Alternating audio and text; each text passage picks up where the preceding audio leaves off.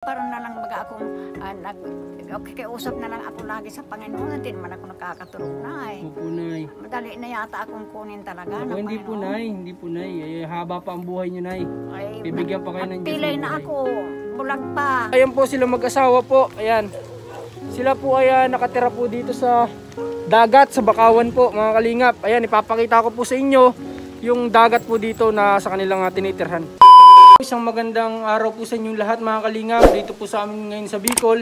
Eh medyo maulan po talaga ngayong araw at hindi lang po ito ngayong araw. Dire-diretso na po ito siguro hanggang ah, January po. Dahil ganito po yung tag-ulan dito po sa amin. At ngayong araw mga kalingap, kahit umuulan po ay didiretso po ang inyong lingkod. Pupunta po ngayon para magpaabot ng ah, kaunting tulong po. At maraming maraming salamat nga po pala sa nag-sponsor po nito.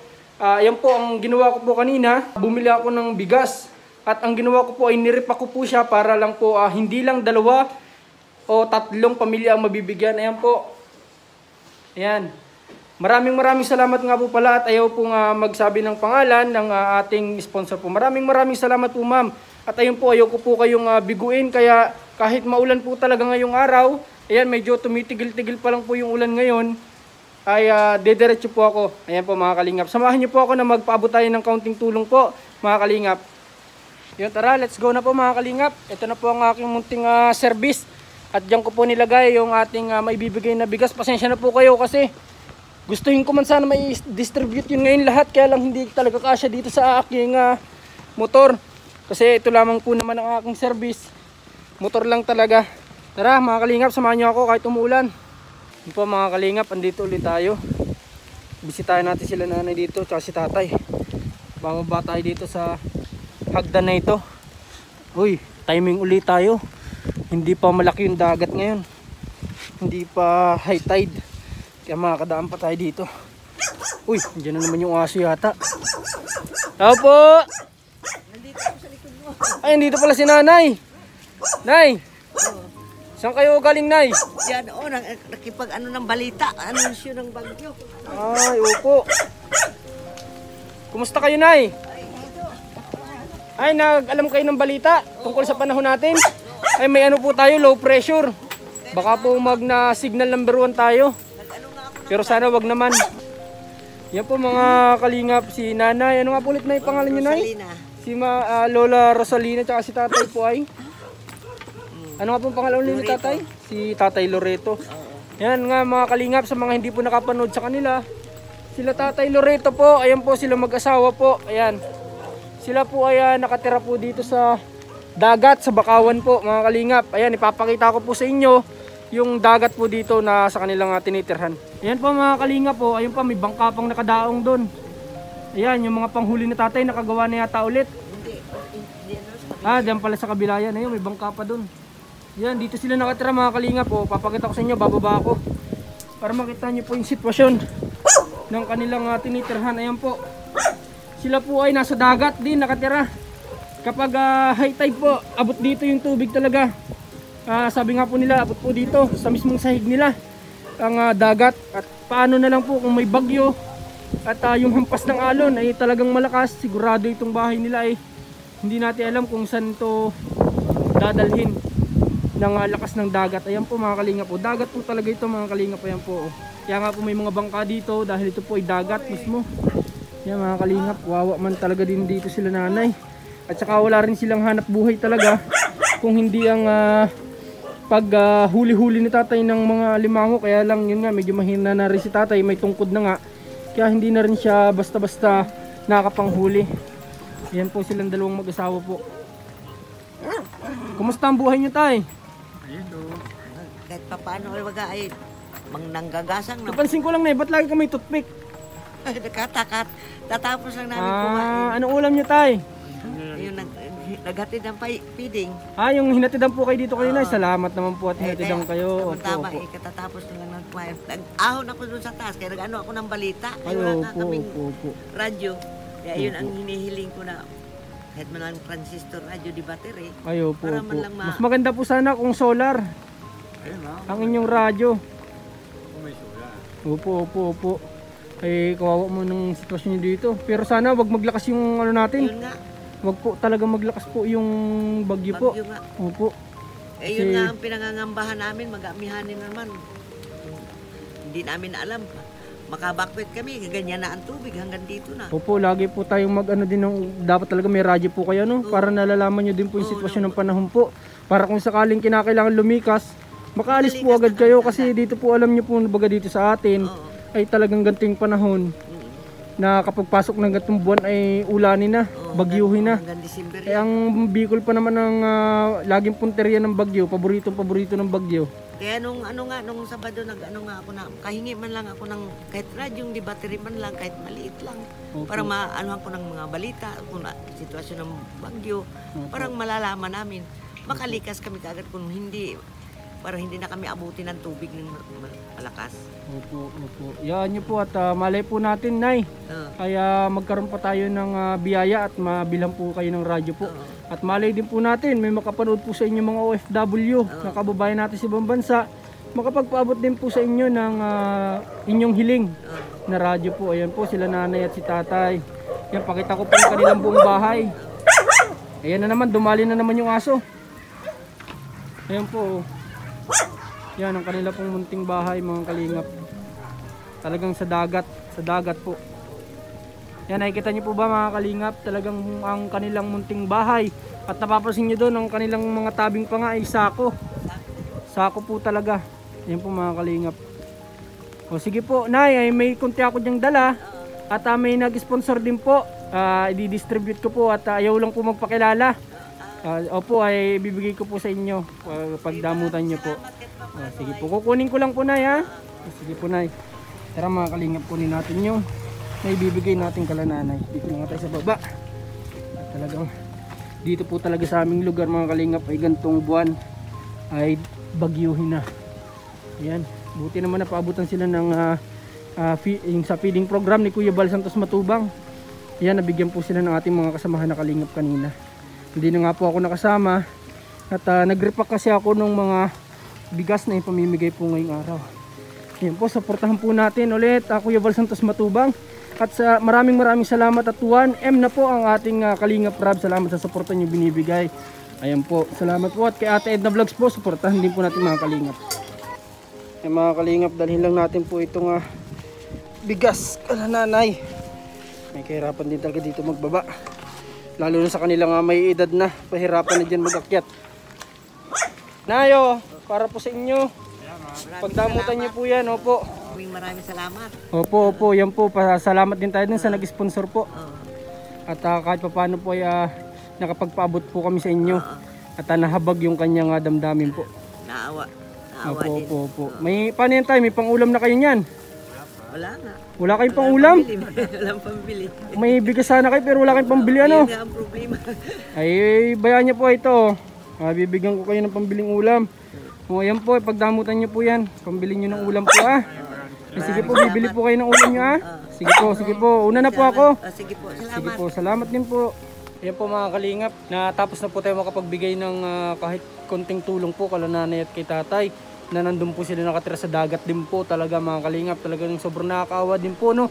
At maraming maraming salamat talaga sa programa ni Kuya Bal na feeding program po. Kasi kagaya po nila na halos wala nang kakayahan magtrabaho ay ah, nagkakaroon pa rin sila ng kunting pag-asa. Kagaya po no nahatiran sila ng pagkain sa tanghalian nila. Napakalaking tulong po napakalaking tulong po ng programa talaga ni Kuya Bal. The best po talaga mga kalingap. At ayun po may, sa pag-drive ko po ulit may nakita po ako dito banda sa likod mga kalingap. At ah, subukan nating tingnan.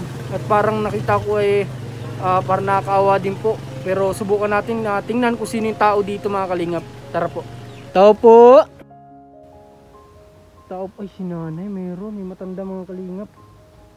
Tao po! Nanay! Nanay kamusta nay? Nahirap, nahirapan na ako. may ilaw kay kuya sila? Ay, ako po ay ah, pinadala po ni Kuya Bal Santos Matubang Nay.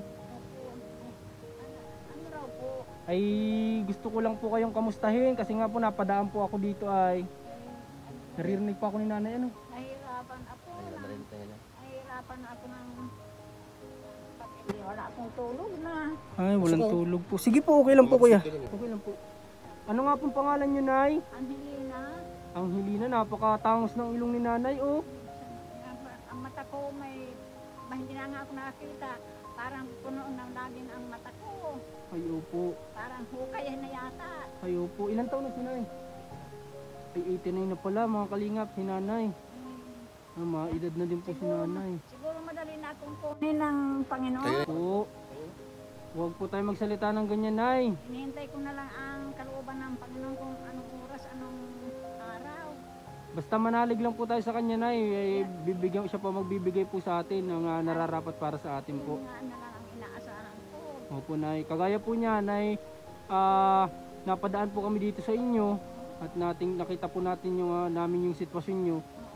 Eh, malay niyo po, balik po ni Kuya Bal, makapunta na po siya dito sa inyo, mabisita kayo. Eh, salamat naman. Opo, at hindi lang po yun. May mga kababayan din po tayo na OFW na pwedeng makapanood po sa inyo, sa sitwasyon. Maraming maraming salamat kung kung kalooban talaga ng Diyos yung pangalap kapwa-tao. Opo, nay. Opo, nay.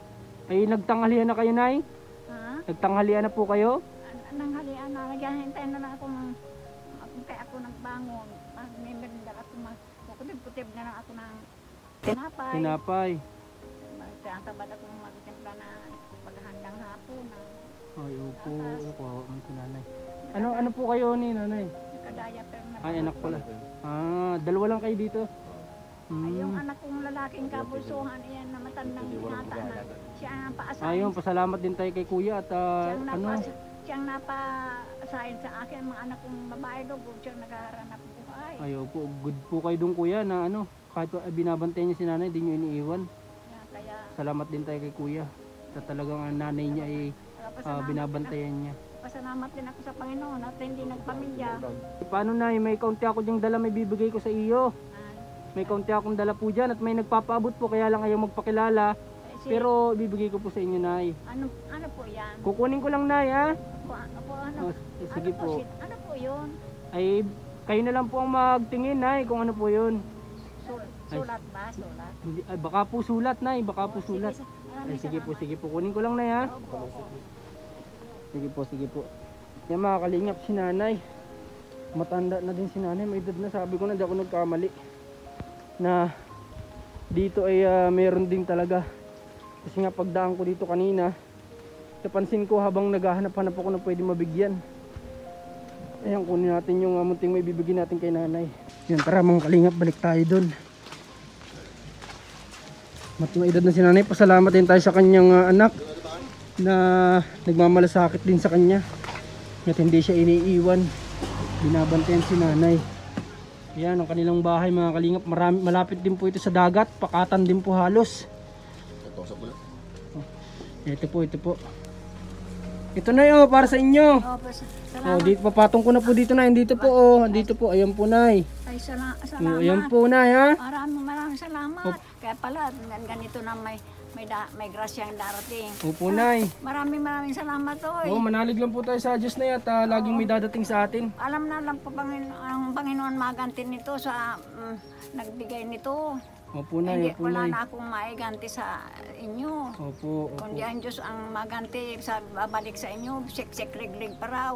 opo nalalaman ko. Basta kapit lang tayo na yan. Opo, sige, Opo, sige. kapit lang tayo na. Sige. Magdasal lang tayo palagi. Opo, lagi. Yun nga naman ginag ginagawa ko. Wala na naman ako, nakat, hindi ako nakatulog. Para na lang baga akong ah, nag, okay, usap na lang ako lagi sa Panginoon. Hindi naman ako nakakatulog na eh. Opo, Nay. Madali na yata akong kunin talaga. Ako ng hindi po, Panginoon. Nay. Hindi po, Nay. Ay, haba pa ang buhay niyo, Nay. Ay, Bibigyan pa kayo ng Diyos pilay ng na buhay. ako. Bulag pa. Okay lang yan, Nay. Okay lang po yan. Awan Ganyan po kung- talaga ang buhay. Awan Lahat ko- naman po dumadating sa pagtanda. It, ito na yata ang, sabi nga sa radyo, ito ang palad ko. Ito ang, ito ang kapalaran ko. Di, tanggapin. Nak ako, nak, daya pa na lang ako. Opo, sige, Sige. po. Sige po, Nay. Una na po ako, Nay, ha? Opo, opo, maraming salamat. Ah, sige na oy. po, Nay. Yan, mga kalingap. Pabalik na po tayo. At ah, Nay, paabot natin kay Nanay.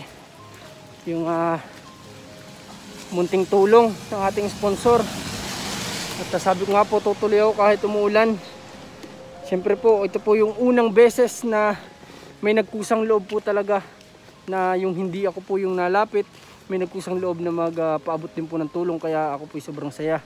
Kaya hindi ko po ito sasayangin pagkakataon na ito kahit umuulan po ay makapagpaabot po ng tulong sa ating mga kababayan po dito. Maraming maraming salamat po sa inyong suporta palagi sa aking munting channel po at ah, sana po ay huwag kayong magsasawa na ako isuportahan at maraming maraming salamat po sa pagsuporta niyo sa ating ah, Kuya Val Santos Matubang, Ate Edna Vlogs and Kalinga Prab. Yan 1M na po si Kalinga Prab. Ayun, ah, maraming salamat po sa suporta niyo. At ah, pupunta na rin po tayo, uwi na po tayo at maraming maraming salamat po. Kita kasi po tayo sa bahay. Yun po mga kalingap, andito na po tayo ulit sa bahay at nakapamigay naman po tayo kahit paano kala nanay at doon sa mag-asawa po. At ah, bukas po ay sana maging okay na itong panahon para makapunta po kami ng Barangay Mabini ng aking mga kasamahan dito po sa Kalingap Center ng Kapalongga po. Sana makapamigay kami doon ng katulong po at may pamigay ko din po itong ah, mga bigas po na sponsor po ng isa nating kababayan. Maraming maraming salamat po sa lahat ng sumusuporta sa aking munting channel at palagi po kayong mag-iingat and God bless you all po.